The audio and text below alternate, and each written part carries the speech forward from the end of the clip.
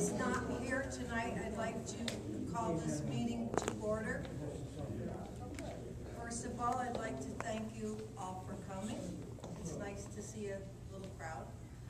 And uh, secondly of all, I will ask you to, since this is a board meeting, if, that you will refrain from comments during the meeting, and we will open up the meeting at the end, so that you may say whatever you'd like, or any suggestions you have for the board. So thank you again, and I appreciate you uh, understanding that this is a board meeting. Georgia, you wanna use the microphone? Maybe? Yes, you are. right. Can you hear me? Yeah. Can you hear me now? Establish a quorum. Bill is not here tonight, so he's not present. Georgia Quinn, she's present. Nick, Nick is president. Nick, Gail Anderson, Gail Anderson is present. Orlando Evans, president. Orlando Levens is present. and we have guests, right? Right. But we have established a quorum for the board. Okay, the uh, minutes of the previous uh, meeting. You all have a copy of the minutes. Do you wish to have the minutes read, or do you wish to dispense with the reading of the minutes? Uh, We need, we need to approve some other minutes besides, either put them, you know, we need to amend them. Uh, Oh, we do I- I have the did- twelve, the I nine. did adjust that, Okay, okay, so that's all in there. Do you wish, So it's the minutes from three meetings we're actually approving. Those were approved at the last meeting, Right. yeah, so this is the only pending set of minutes. Okay. okay, do you wish to have the minutes read, since you, you all have a copy, or do you wish to dispense with the reading of minutes?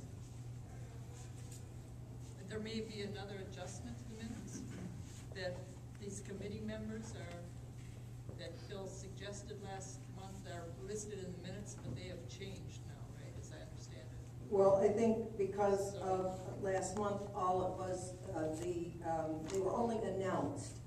And what we had failed to do was to uh, approve, This is what actually happened last month, so that's. correct. They were only announced, and the board did not vote to accept the chair people or the people on their committees, which is a very important thing, because if we do not approve the the committee chairs and the people on their committees, then they are not covered by our umbrella or any liability. So that's why it's an important thing that has to be done. And I think we can get into that into um, full business. Okay, I move to approve these minutes.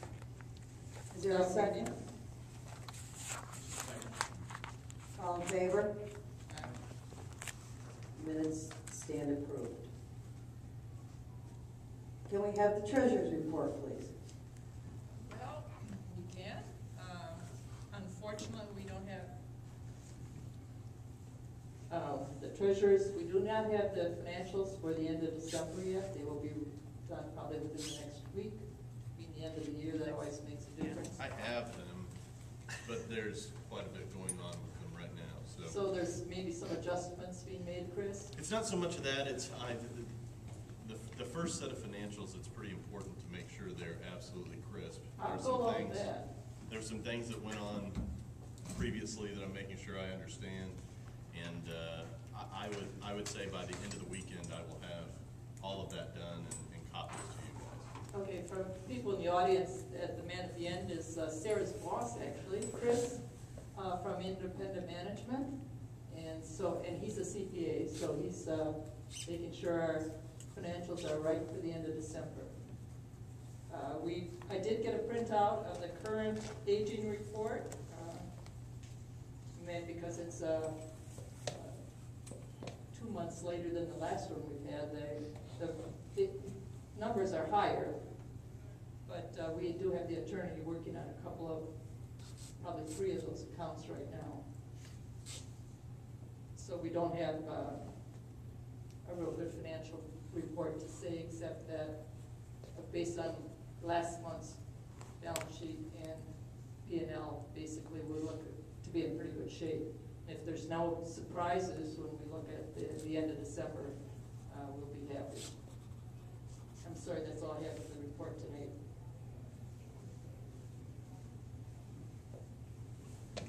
Will someone make a motion to accept the treasurer's report?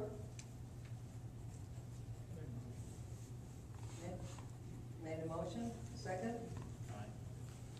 Second? All in favor? The treasurer's report has been accepted. Um, We have approval of the financials, but I guess, as we said, that's. Yeah. Okay.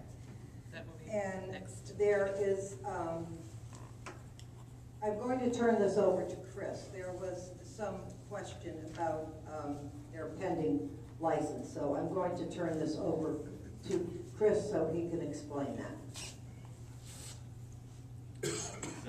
I've, um, I've been on the phone with the state quite a bit in recent weeks. There was, uh, the only way I can put it is a mix-up. Um, To make a long story short, originally we had filed for this uh, licensing that we needed back uh, in the summertime, as everyone generally needed to that was a firm.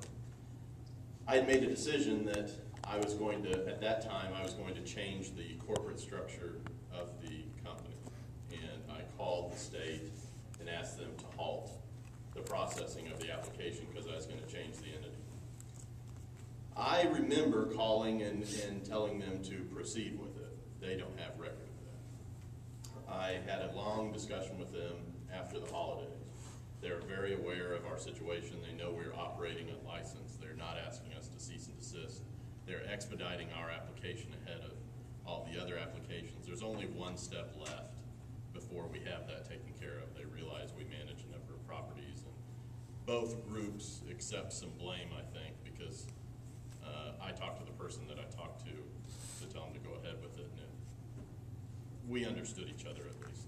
Um, I take full responsibility for it, and I apologize to the board and to the membership for the problem. It's embarrassing to me.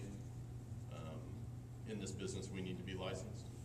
Uh, There's a, there's a fiduciary duty and there's a responsibility that uh, comes with being licensed, and we try and uh, employ that and and be that as professionals every day, and, and to not have something like this taken care of, it, it is my fault, and again, to the board, I apologize. I, in talking to them uh, yesterday, they expect us to be approved, if not tomorrow, at the first part of next week, and uh, this should be closed at that point. Chris, I have a question. Now Sarah's licensed as a CAM, As am I. and you're licensed as a CM, so this is just a license for the overall, Yeah, I mean, to put this in context, if, if you looked at Gulf Breeze's situation, they were in the same spot we are. I don't know, um, if they may have a similar situation. In talking to the state, uh, thirty-eight percent of CAM companies that were licensed before the requirements have still not licensed yet. so this is a new requirement for two thousand It was new for the beginning of two thousand and nine. Most of us started doing it in the summertime as our busy season ended.